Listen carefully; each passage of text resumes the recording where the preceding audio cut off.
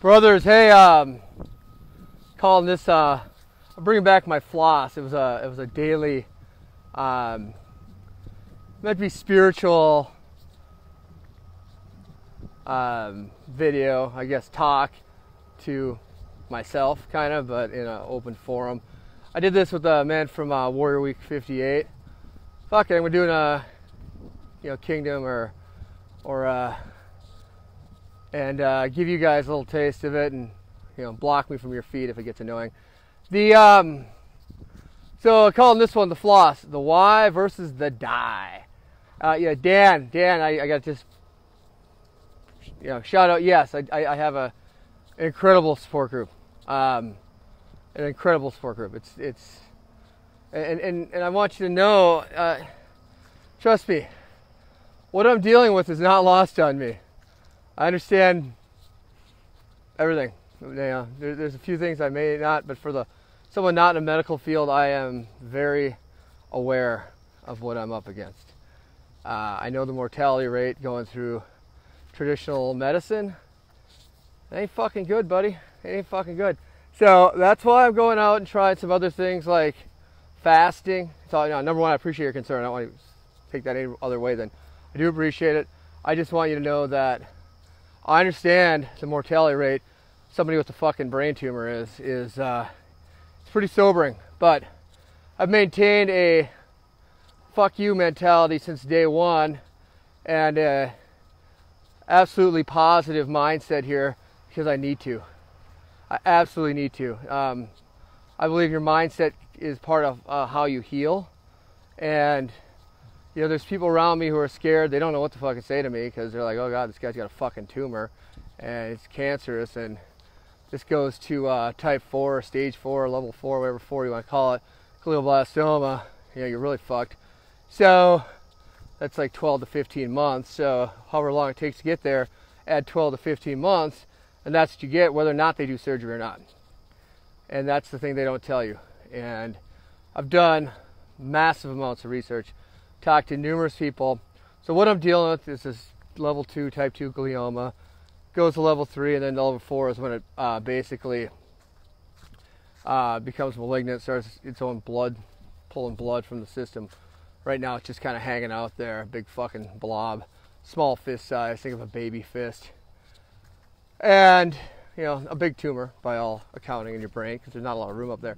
So the um, so what I've done is I've gone out and looked at different options, and one of them is the metabolic approach to cancer, and I highly recommend anybody here who is watching do your research on that.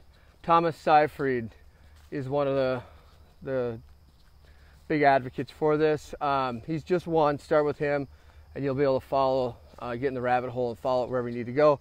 One out of two men will develop um, you know, cancer in their life. And, and trust me, we all have it. Cancer is just mutated cells, guys. We have cell mutations every day. The, the thing is, our immune system usually cleans them up. Um, it becomes runaway when they figure out how to mask themselves. And then that's when they fucking grow into like this other bullshit. So, into tumors and stuff.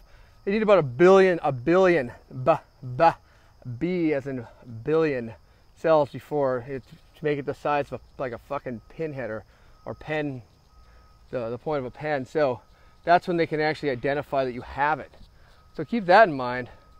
Um, so, so take what I say seriously. I'm looking at metabolic approach, which includes fasting. I fasted for about eight days, had a huge feed of fat, and it was awesome.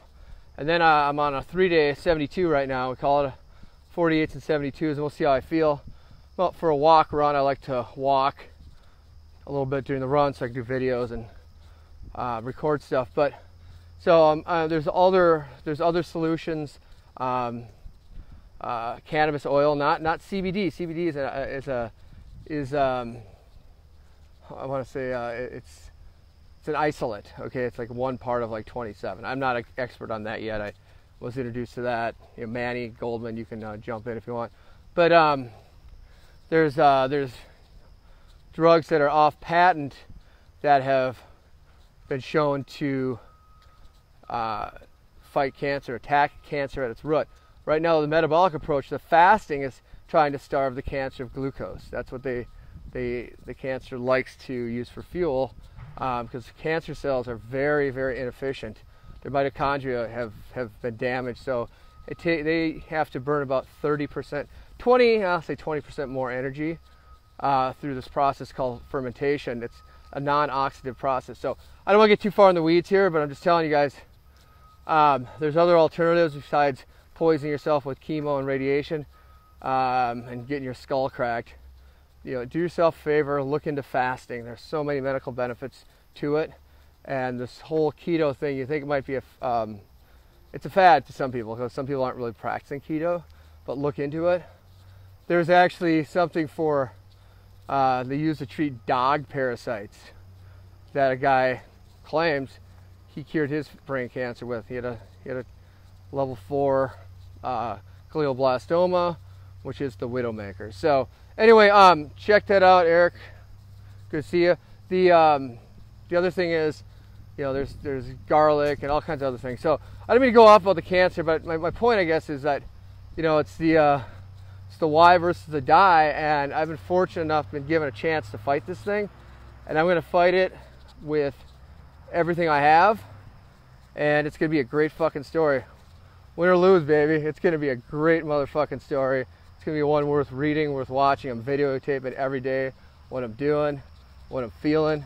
Um, I'm going to put that into a mini documentary, and uh, we'll see it's going to be awesome either way. So yeah, I have a, I have a very positive mindset because what the fuck not? What's being bitter and depressed going to do?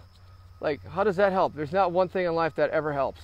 If you can point out to one thing, I mean, maybe divorce. If you want to get divorced, maybe that helps you get divorced. I mean, so I guess there is one thing.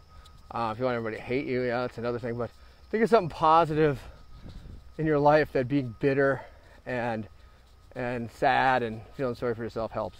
Please, I challenge everybody. Tell me what, what that is you know, and I will fucking start doing it. I'll make transition. So uh, appreciate all the support, brothers. Love you guys. Um, you know, many of you have never met me except on these videos, and uh, I'll keep you posted if you want to keep hearing about it. I, I am doing private videos every day, and um, not really Facebook official on any of this stuff. Like a lot of you know people know here, my close friends and family, and then I guarantee you guys know way more about what's going on than fucking most people that. Uh, or even like living next door to me probably. All right, gotta go. Love you guys.